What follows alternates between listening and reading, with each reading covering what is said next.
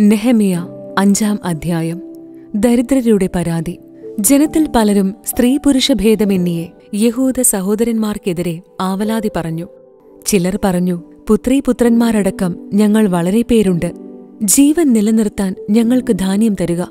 മറ്റു ചിലർ പറഞ്ഞു ക്ഷാമം നിമിത്തം വയലുകളും മുന്തിരിത്തോപ്പുകളും വീടുകളും ഞങ്ങൾ ധാന്യത്തിനു വേണ്ടി പണയപ്പെടുത്തി. വേറെ ചിലർ പറഞ്ഞു വയലുകളുടെയും മുന്തിരിത്തോപ്പുകളുടെയും മേലുള്ള രാജകീയ നികുതി അടയ്ക്കാൻ ഞങ്ങൾ കടം വാങ്ങിയിരുന്നു. എന്നാൽ ഞങ്ങൾ ഞങ്ങളുടെ സഹോദരന്മാരെ പോലെ തന്നെയാണ്. ഞങ്ങളുടെ മക്കൾ അവരുടെ മക്കളെ പോലെ. എന്നിട്ടും ഞങ്ങളുടെ പുത്രീപുത്രന്മാരെ ഞങ്ങൾ അടിമത്തത്തിലേക്ക് തള്ളിവിടുന്നു. ഞങ്ങളുടെ പുത്രിമാരിൽ ചിലർ അടിമകളായി കഴിഞ്ഞിരിക്കുന്നു. ഞങ്ങൾ നിസ്സഹായരാണ്. ഞങ്ങളുടെ വയലുകളും മുന്തിരിത്തോപ്പുകളും അന്യാധീനമാണ്. അവരുടെ ആവലാതി കേട്ട് എനിക്ക് കോപം തോന്നി. പ്രമാണിമാരുടെയും സേവകന്മാരുടെയും മേൽ കുറ്റമാരോപിക്കാൻ ഞാൻ തീരുമാനിച്ചു. ഞാൻ അവരോട് പറഞ്ഞു നിങ്ങൾ സഹോദരന്മാരിൽ നിന്ന് പലിശ ഈടാക്കുന്നു. അവർക്കെതിരെ ഞാൻ സഭ വിളിച്ചുകൂട്ടി. ഞാൻ പറഞ്ഞു ജനതകൾ വിലയ്ക്ക് വാങ്ങിയ യഹൂദ സഹോദരന്മാരെ കഴിവുള്ളിടത്തോളം നമ്മൾ വീണ്ടെടുത്തു. എന്നാൽ ഇനിയും നാം വീണ്ടെടുക്കേണ്ട വിധം നിങ്ങൾ അവരെ വിൽക്കുന്നു. ഒരു വാക്കുപോലും പറയാനില്ലാത്ത വിധം അവർ നിശബ്ദത പാലിച്ചു. ഞാൻ പറഞ്ഞു നിങ്ങൾ ചെയ്യുന്നത് ശരിയല്ല. ശത്രുജനതകളുടെ പരിഹാസത്തിന് ഇരയാകാതിരിക്കാൻ നിങ്ങൾ നമ്മുടെ ദൈവത്തോടുള്ള ഭക്തിയിൽ ചരിക്കേണ്ടതല്ലേ കൂടാതെ ഞാനും സഹോദരന്മാരും ഭൃത്യരും അവർക്ക് പണവും ധാന്യവും വായ്പ കൊടുക്കുന്നു. പലിശ വാങ്ങൽ നമുക്ക് ഉപേക്ഷിക്കാം. അവരുടെ വയലുകളും മുന്തിരിത്തോപ്പുകളും ഒലിവ് തോട്ടങ്ങളും ഭവനങ്ങളും പണം ധാന്യം വീഞ്ഞ് എണ്ണ എന്നിവയ്ക്ക് ഈടാക്കിയിരുന്ന ശതാംശവും ഇന്ന് തന്നെ അവർക്ക് തിരിച്ചു കൊടുക്കണം. അവർ പറഞ്ഞു ഞങ്ങൾ അവ തിരിച്ചു കൊടുക്കാം. അവരിൽ നിന്ന് ഞങ്ങൾ ഒന്നും ആവശ്യപ്പെടുകയില്ല. അങ്ങ് പറയുന്നത് ഞങ്ങൾ അനുസരിക്കാം. അനന്തരം ഞാൻ പുരോഹിതന്മാരെ വിളിച്ച് അവരുടെ സാന്നിധ്യത്തിൽ തങ്ങളുടെ പ്രതിജ്ഞ നിറവേറ്റുമെന്ന് നേതാക്കന്മാരെ കൊണ്ട് ശപഥം ചെയ്യിച്ചു. ഞാൻ എന്റെ മടി കുടഞ്ഞുകൊണ്ട് പറഞ്ഞു ഈ ശപഥം പാലിക്കാത്തവനെ ദൈവം ഇതുപോലെ അവന്റെ വീട്ടിൽ നിന്നും ജോലിയിൽ നിന്നും കുടഞ്ഞുകളയട്ടെ. അങ്ങനെ അവന് എല്ലാം നഷ്ടപ്പെടട്ടെ. അങ്ങനെയാകട്ടെ എന്ന് പറഞ്ഞ് ജനം കർത്താവിനെ സ്തുതിച്ചു. അവർ പ്രതിജ്ഞ പാലിച്ചു. അർത്താക്സർക്സസ് രാജാവിന്റെ ഇരുപതാം ഭരണവർഷം ഞാൻ യൂതായിൽ ദേശാധിപതിയായി നിയമിക്കപ്പെട്ടതു മുതൽ അവന്റെ മുപ്പത്തിരണ്ടാം ഭരണവർഷം വരെ പന്ത്രണ്ട് വർഷത്തേക്ക് ഞാനോ എന്റെ സഹോദരന്മാരോ ദേശാധിപതിക്കുള്ള ഭക്ഷണവേതനം വാങ്ങിയില്ല. എന്റെ മുൻഗാമികളായ ദേശാധിപതികളാകട്ടെ ജനത്തിന്റെ മേൽ ഭാരം ചുമത്തുകയും നാൽപ്പത് ഷെക്കൽ വെള്ളിക്ക് പുറമെ ഭക്ഷണവും വീഞ്ഞും ഈടാക്കുകയും ചെയ്തു. അവരുടെ സേവകർ പോലും ജനത്തെ ഭാരപ്പെടുത്തി.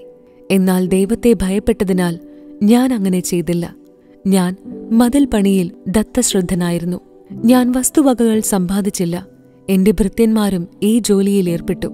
ചുറ്റുമുള്ള ജനതകളിൽ നിന്ന് വന്നവർക്കു പുറമെ യഹൂദരും അവരുടെ നായകന്മാരുമായി നൂറ്റിയൻപത് പേർ എന്നോടൊത്ത് ഭക്ഷിച്ചിരുന്നു. ഒരു ദിവസത്തേക്ക് ഒരു കാളയും കൊഴുത്ത ആറ് ആടുകളും അതിനൊത്ത കോഴികളുമാണ് വേണ്ടിയിരുന്നത്. പത്തു ദിവസം കൂടുമ്പോൾ വീഞ്ഞു നിറച്ച തോൽക്കുടങ്ങൾ ധാരാളം ഒരുക്കിയിരുന്നു.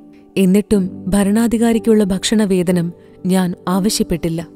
കാരണം ദുർവഹമായ ഭാരമാണ് ജനം താങ്ങിയിരുന്നത്. എന്റെ ദൈവമേ ഞാൻ ഈ ജനത്തിനു വേണ്ടി ചെയ്തതോർത്ത് എനിക്ക് നന്മ വരുത്തണമേ. നെഹമിയ ആറാം അധ്യായം. നെഹമിയായ്ക്കെതിരെ ഗൂഢാലോചന. ഞാൻ കഥക കൊളുത്തിയില്ലെങ്കിലും മതിൽ പണിത് വിടവുകൾ അടച്ചുവെന്ന് സൻബല്ലാത്തും തോബിയായും അറേബ്യനായ ഗഷമും മറ്റു ശത്രുക്കളും അറിഞ്ഞു. സൻബല്ലാത്തും ഗഷമും എനിക്ക് സന്ദേശമയച്ചു വരിക. ഓനോ സമതലത്തിൽ ഏതെങ്കിലും ഗ്രാമത്തിൽ വെച്ച് നമുക്കൊരു കൂടിക്കാഴ്ച നടത്താം. എന്നെ ഉപദ്രവിക്കുകയായിരുന്നു അവരുടെ ഉദ്ദേശം. ഞാൻ ദൂതന്മാരെ അയച്ച് അവരോട് പറഞ്ഞു ഞാനൊരു വലിയ കാര്യം ചെയ്യുകയാണ്. എനിക്ക് വരുക സാധ്യമല്ല. ഞാൻ ഇറങ്ങി ഇറങ്ങിവന്ന് പണിക്ക് മുടക്കം വരുത്തുന്നതെന്തിന്? അവർ നാലു പ്രാവശ്യം ഈ സന്ദേശം അയക്കുകയും ഞാൻ ഇതേ ഉത്തരം നൽകുകയും ചെയ്തു. അഞ്ചാം പ്രാവശ്യവും സൻബല്ലാദ് ഭൃത്യനെ തുറന്ന കത്തുമായി അയച്ചു. അതിൽ ഇങ്ങനെ എഴുതിയിരുന്നു നീയും യഹൂദന്മാരും എതിർക്കാൻ ഉദ്ദേശിച്ചാണ് മതിൽ പണിയുന്നതെന്നും നീ അവരുടെ രാജാവാകാൻ ഉദ്ദേശിക്കുന്നുവെന്നും ജനതകളുടെ ഇടയിൽ കേൾവിയുണ്ട്. ഗഷമും അതുതന്നെ പറയുന്നു. യൂതായിൽ ഒരു രാജാവുണ്ടായിരിക്കുന്നുവെന്ന് നിന്നെക്കുറിച്ച് ജെറുസലേമിൽ വിളംബരം ചെയ്യുന്നതിന് നീ പ്രവാചകരെ നിയോഗിച്ചിരിക്കുന്നുവെന്നും കേൾക്കുന്നു. ഇവയെല്ലാം രാജസന്നിധിയിൽ അറിയിക്കും. അതിനാൽ വരുക നമുക്ക് കൂടിയാലോചന നടത്താം. ഞാൻ അവനു മറുപടി നൽകി നീ പറയുന്നതൊന്നും നടന്നിട്ടില്ല. എല്ലാം നിന്റെ സങ്കല്പമാണ്. ജോലി ചെയ്യാനാവാത്ത വിധം ഞങ്ങളുടെ കരങ്ങൾ തളർന്നു പോകുമെന്ന് കരുതി അവർ ഞങ്ങളെ ഭയപ്പെടുത്താൻ ഉദ്യമിച്ചു. ദൈവമേ അവിടുന്ന് ഇപ്പോൾ എന്റെ കരങ്ങൾ ശക്തിപ്പെടുത്തണമേ. വീട്ടുതടങ്കലിലായിരുന്ന ഷെമായായുടെ അടുത്ത് ഞാൻ ചെന്നു. അവൻ മെഹത്താബേലിന്റെ പുത്രനായ ദലായായുടെ മകനാണ്. അവൻ എന്നോട് പറഞ്ഞു നമുക്ക് ദേവാലയത്തിനുള്ളിൽ കഥകടച്ചിരിക്കാം അവർ അങ്ങയെ കൊല്ലാൻ നോക്കുന്നു. രാത്രിയിൽ അവർ വരും. ഞാൻ പറഞ്ഞു എന്നെപ്പോലുള്ള ഒരാൾ പേടിച്ചോടുകയോ? എന്നെപ്പോലുള്ള ആരെങ്കിലും ദേവാലയത്തിനുള്ളിൽ ഒളിച്ച് ജീവൻ രക്ഷിക്കുമോ? ഞാനത് ചെയ്യുകയില്ല. അവന്റെ വാക്കുകൾ ദൈവപ്രചോദിതമല്ലെന്നും തോബിയായും സൻബല്ലാത്തും കൂലിക്കെടുത്തതുകൊണ്ടാണ് എനിക്കെതിരെ പ്രവചിക്കുന്നതെന്നും എനിക്ക് മനസ്സിലായി. ഭയപ്പെട്ട് ഇപ്രകാരം പ്രവർത്തിച്ച് ഞാൻ പാപം ചെയ്യുന്നതിനും അങ്ങനെ എനിക്ക് ദുഷ്കീർത്തിയുണ്ടായി എന്നെ അവഹേളിക്കുന്നതിനും വേണ്ടി അവർ അവനെ കൂലിക്കെടുത്തതാണ്. എന്റെ ദൈവമേ തോബിയായ്ക്കും സൻബല്ലാത്തനും അവരുടെ പ്രവൃത്തികൾക്ക് തക്ക പ്രതിഫലം നൽകണമേ. പ്രവാചികയായ നൊവാദിയായെയും എന്നെ ഭയപ്പെടുത്താൻ ഉദ്യമിച്ച മറ്റു പ്രവാചകന്മാരെയും ഓർക്കണമേ. മതിൽ പൂർത്തിയാക്കുന്നു. അങ്ങനെ അൻപത്തിരണ്ടാം ദിവസം ഏലൂൾ മാസം ഇരുപത്തഞ്ചാം ദിവസം പണി പൂർത്തിയായി. ഇതറിഞ്ഞ് ഞങ്ങളുടെ ശത്രുക്കളും ചുറ്റുമുള്ള ജനതകളും ഭയപ്പെട്ടു. അവർക്ക് ആത്മവിശ്വാസം നശിച്ചു. ഞങ്ങളുടെ ദൈവത്തിന്റെ സഹായത്താലാണ് ഈ പണി നടന്നതെന്ന് അവർ മനസ്സിലാക്കി. അക്കാലത്ത് യൂതായിലെ ശ്രേഷ്ഠന്മാരും തോബിയായും തമ്മിൽ കത്തിടപാടുകളുണ്ടായിരുന്നു അവൻ ആരായുടെ പുത്രൻ ഷെക്കാനിയായുടെ ജാമാതാവായിരുന്നു. തോബിയായുടെ പുത്രൻ യോഹനാൻ ബറക്കിയായുടെ പുത്രൻ മെഷുല്ലാമിന്റെ മകളെയാണ് വിവാഹം ചെയ്തിരുന്നത്. അതിനാൽ യൂതായിൽ പലരും അവന്റെ പക്ഷത്തായിരുന്നു. അവർ എന്റെ മുൻപിൽ അവനെ പ്രശംസിച്ചു. ഞാൻ പറഞ്ഞവയെല്ലാം അവനെ അറിയിക്കുകയും ചെയ്തു. തോബിയ എനിക്ക് ഭീഷണിക്കത്തുകൾ അയച്ചുകൊണ്ടിരുന്നു. നെഹമിയ ഏഴാം അധ്യായം. മതിലിന്റെ പണി തീർന്നു. കഥകുകൾ കൊളുത്തുകയും കാവൽക്കാരെയും ഗായകരെയും ലേവരെയും നിയമിക്കുകയും ചെയ്തു. ഞാൻ എന്റെ സഹോദരൻ ഹനാനിയെയും കോട്ടകാവൽക്കാരുടെ അധിപനായ ഹനാനിയായെയും ജെറുസലേമിന്റെ ഭരണമേൽപ്പിച്ചു. വിശ്വസ്തതയിലും ദൈവഭക്തിയിലും ഹനാനിയ അതുല്യനായിരുന്നു. ഞാൻ അവരോട് പറഞ്ഞു വെയിൽ മൂക്കുന്നതുവരെ ജെറുസലേമിന്റെ കവാടങ്ങൾ തുറക്കരുത്. കാവലുള്ളപ്പോൾ തന്നെ വാതിലുകൾ അടച്ചു കുറ്റിയിടണം ജെറുസലേം നിവാസികളെ ആയിരിക്കണം കാവൽക്കാരായി നിയമിക്കുക. അവർ താന്താങ്ങളുടെ ഭവനത്തിന്റെ എതിർവശത്ത് സ്ഥാനമുറപ്പിക്കണം. തിരിച്ചുവന്ന പ്രവാസികൾ. നഗരം വലുതും വിശാലവുമായിരുന്നു. നിവാസികൾ വിരളവും. വീടുകൾ പണിതിരുന്നില്ല. ശ്രേഷ്ഠന്മാരെയും നായകന്മാരെയും ജനത്തെയും വിളിച്ചുകൂട്ടി അവരുടെ വംശാവലി തയ്യാറാക്കുവാൻ ദൈവം എന്നെ പ്രേരിപ്പിച്ചു. ആദ്യം മടങ്ങി വന്നവരുടെ വംശാവലി ഗ്രന്ഥം ഞാൻ കണ്ടെത്തി. അതിൽ ഇപ്രകാരം എഴുതിയിരുന്നു. ബാബിലോൺ രാജാവായ നബുക്തനേസർ പിടിച്ചുകൊണ്ടുപോയവരിൽ സ്വനഗരങ്ങളിൽ മടങ്ങിയെത്തിയവർ. അവർ ജെറുസലേമിലും യൂതായിലെ നഗരങ്ങളിലും മടങ്ങിയെത്തി. സെറുബാബേൽ യശുവ നെഹമിയ അസറിയ റാമിയ നഹമാനി മൊർദെക്കായ് ബിൽഷാൻ മിസ്പേരത്ത് ബിഗ്വായ് നേഹൂം ബാന എന്നിവരുടെ നേതൃത്വത്തിലാണ് അവർ വന്നത്. ഇസ്രായേൽ ജനത്തിന്റെ കണക്ക്. പറൂഷ് കുടുംബത്തിൽ രണ്ടായിരത്തി ഒരുന്നൂറ്റി എഴുപത്തിരണ്ട് ഷെഫാത്തിയ കുടുംബത്തിൽ മുന്നൂറ്റി എഴുപത്തിരണ്ട് ആരാ കുടുംബത്തിൽ അറുന്നൂറ്റി അൻപത്തിരണ്ട് പഹാത് മൊബാബ് കുടുംബത്തിൽപ്പെട്ട യശുവയുടെയും യോവാബിന്റെയും സന്തതികളായി രണ്ടായിരത്തി എണ്ണൂറ്റി പതിനെട്ട് ഏല കുടുംബത്തിൽ ആയിരത്തി ഇരുന്നൂറ്റി അൻപത്തിനാല് സാത്ത് കുടുംബത്തിൽ എണ്ണൂറ്റി നാൽപ്പത്തിയഞ്ച് സക്കായ് കുടുംബത്തിൽ എഴുന്നൂറ്റി അറുപത് ബിന്നുയി കുടുംബത്തിൽ അറുന്നൂറ്റി നാൽപ്പത്തിയെട്ട് ബേബായി കുടുംബത്തിൽ അറുന്നൂറ്റി ഇരുപത്തിയെട്ട് അസ്കാദ് കുടുംബത്തിൽ രണ്ടായിരത്തി മുന്നൂറ്റി ഇരുപത്തിരണ്ട് അദോനിക്ക കുടുംബത്തിൽ അറുന്നൂറ്റി അറുപത്തിയേഴ് ബിഗ് വായ് കുടുംബത്തിൽ രണ്ടായിരത്തി അറുപത്തിയേഴ് ആദിൻ കുടുംബത്തിൽ അറുന്നൂറ്റി അൻപത്തഞ്ച് ആതേർ എന്നറിയപ്പെടുന്ന ഹെസക്കിയായുടെ സന്തതികൾ തൊണ്ണൂറ്റിയെട്ട്. ഹാഷും കുടുംബത്തിൽ മുന്നൂറ്റി ഇരുപത്തെട്ട് ബസായ് കുടുംബത്തിൽ മുന്നൂറ്റി ഇരുപത്തിനാല് ഹാരിഫ് കുടുംബത്തിൽ നൂറ്റി പന്ത്രണ്ട് ഗിബയോൻ കുടുംബത്തിൽ തൊണ്ണൂറ്റിയഞ്ച്. ബേദലഹേമിലെയും നെത്തുഫാഹിലെയും പുരുഷന്മാർ നൂറ്റി എൺപത്തെട്ട് അനാഥോത്തിലെ പുരുഷന്മാർ നൂറ്റി ഇരുപത്തെട്ട് ബേത് അസ്മാവത്തിലെ പുരുഷന്മാർ നാൽപ്പത്തിരണ്ട്. കിരിയാത് യയാറിം കെഫീറ ബേറോത്ത് എന്നിവിടങ്ങളിലെ പുരുഷന്മാർ എഴുന്നൂറ്റി നാൽപ്പത്തിമൂന്ന് റാമായിലെയും ഗേബായിലെയും പുരുഷന്മാർ അറുന്നൂറ്റി ഇരുപത്തിയൊന്ന് മിക്മാസിലെ പുരുഷന്മാർ നൂറ്റി ഇരുപത്തിരണ്ട് ബത്തേലിലെയും ആയിലെയും പുരുഷന്മാർ നൂറ്റി ഇരുപത്തിമൂന്ന് മറ്റേ നെബോയിലെ പുരുഷന്മാർ അൻപത്തിരണ്ട്. മറ്റേ ഏലാ കുടുംബത്തിൽ ആയിരത്തി ഇരുന്നൂറ്റി അൻപത്തിനാല് ഹാരിം കുടുംബത്തിൽ മുന്നൂറ്റി ഇരുപത് ജെറീക്കോ കുടുംബത്തിൽ മുന്നൂറ്റി നാൽപ്പത്തിയഞ്ച് ലോദ് ഹദീദ് ഓനോ എന്നിവരുടെ സന്തതികൾ എഴുന്നൂറ്റി ഇരുപത്തിയൊന്ന് സേനാ കുടുംബത്തിൽ മൂവായിരത്തി തൊള്ളായിരത്തി മുപ്പത് പുരോഹിതന്മാർ. യശുവ കുടുംബത്തിൽ യദായായുടെ സന്തതികൾ തൊള്ളായിരത്തി എഴുപത്തിമൂന്ന് ഇമ്മർ കുടുംബത്തിൽ ആയിരത്തി അൻപത്തിരണ്ട് പാഷൂർ കുടുംബത്തിൽ ആയിരത്തി ഇരുന്നൂറ്റി നാൽപ്പത്തിയേഴ് ഹാറിം കുടുംബത്തിൽ ആയിരത്തി പതിനേഴ് ലേവ്യർ ഹോദേവ കുടുംബത്തിൽ യശുവയുടെയും കത്മിയേലിന്റെയും സന്തതികൾ എഴുപത്തിനാല്.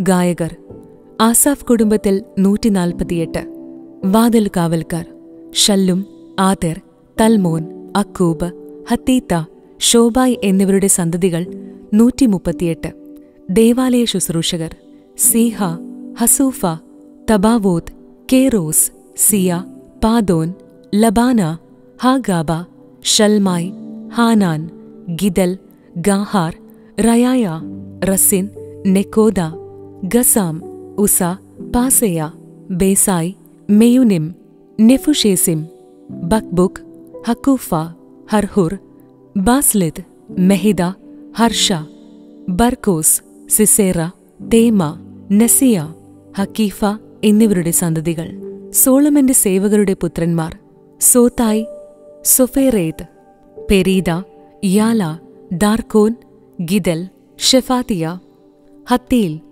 പൊക്കെരത്ത് ഹസെബായും ആമോൻ എന്നിവരുടെ സന്തതികൾ. ദേവാലയ ശുശ്രൂഷകരും സോളമന്റെ സേവകന്മാരും ആകെ മുന്നൂറ്റി തൊണ്ണൂറ്റിരണ്ട് പേർ.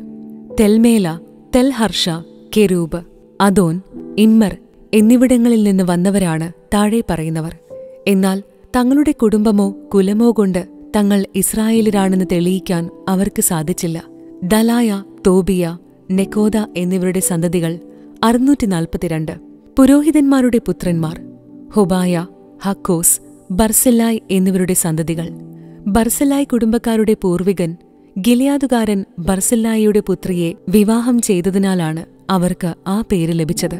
വംശാവലി പട്ടികയിൽ പേരില്ലാത്തതിനാൽ അവരെ അശുദ്ധരായി കരുതി പുരോഹിത ഗണത്തിൽ ഉൾപ്പെടുത്തിയില്ല. ഉറീമും തുമ്മീമുമുള്ള ഒരു പുരോഹിതൻ വരുന്നതുവരെ വിശുദ്ധ ഭോജനത്തിൽ പങ്കുചേരുന്നതിൽ നിന്ന് ദേശാധിപതി അവരെ വിലക്കി. ജനം ആകെ നാൽപ്പത്തിയേഴായിരത്തി മുന്നൂറ്റി അറുപത് പേർ. ഇതിനു പുറമെ അവരുടെ ദാസീദാസന്മാർ ഏഴായിരത്തി മുന്നൂറ്റി മുപ്പത്തിയേഴ് പേരും ഗായിക ഗായകന്മാരായി ഇരുന്നൂറ്റി നാൽപ്പത്തഞ്ച് പേരും ഉണ്ടായിരുന്നു. എഴുന്നൂറ്റി മുപ്പത്താറ് കുതിരകളും ഇരുന്നൂറ്റി നാൽപ്പത്തിയഞ്ച് കോവർ കഴുതകളും നാനൂറ്റി മുപ്പത്തഞ്ച് ഒട്ടകങ്ങളും ആറായിരത്തി എഴുന്നൂറ്റി ഇരുപത് കഴുതകളും ഉണ്ടായിരുന്നു. കുടുംബത്തലവന്മാർ ദേവാലയ നിർമ്മാണത്തിന് സംഭാവനകൾ നൽകി. ദേശാധിപതി ആയിരം ദാരിക് സ്വർണവും അൻപത് ഷാളന പാത്രങ്ങളും അഞ്ഞൂറ്റി മുപ്പത് പുരോഹിത വസ്ത്രങ്ങളും നൽകി. കുടുംബത്തലവന്മാർ നിർമ്മാണ നിധിയിലേക്ക് ഇരുപതിനായിരം ദാരിക് സ്വർണവും രണ്ടായിരത്തി ഇരുന്നൂറ് മീന വെള്ളിയും നൽകി.